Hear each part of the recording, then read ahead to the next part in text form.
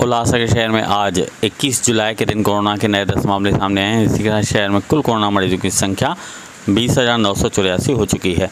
वहीं आज तीन लोगों को डिस्चार्ज दिया गया है। इसी के साथ अब तक कोरोना मुक्त हुए लोगों की संख्या बीस हज़ार तीन सौ पंद्रह हो चुकी है।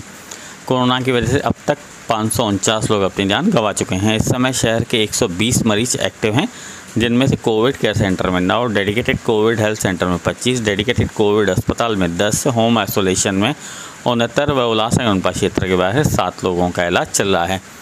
आज जिन नए दस मामलों की जानकारी हमें मिली है। उनमें कैंप नंबर एक से एक मामला शामिल है। वहीं कैंप नंबर दो से दो मामले सामने आए हैं। वहीं कैंप नंबर तीन से एक मामला सामने आया है। कैंप नंबर चार से पाँच मामले सामने आए हैं। वहीं कैंप नंबर पाँच से एक मामला बताया जा रहा है। इस से रोज़ आपको अपडेट देता रहेगा। ये अपडेट आने के लिए जल्द से जल्द टाउन न्यूज़ को सब्सक्राइब करें व बेल आइकन ज़रूर दबाएँ। नमस्कार।